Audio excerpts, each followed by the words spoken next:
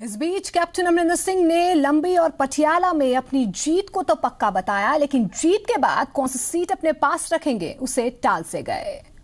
लंबी से लड़ाई आपके लिए थोड़ी मुश्किल होगी? ये तो हमारे पटियाला का इलाका होता था पहले। आ, फिर ब्रिटिश इंडिया में आ गया था बट टिल अबाउट थर्टीज ये हमारे पटियाला ये सब जहाँ हम घूम रहे हैं this is all part of old Patiala including Bathinda and Lambi and all this प्रचार के लिए वक्त मिल पाएगा आपको? लंबी में और भी आएँगे आप?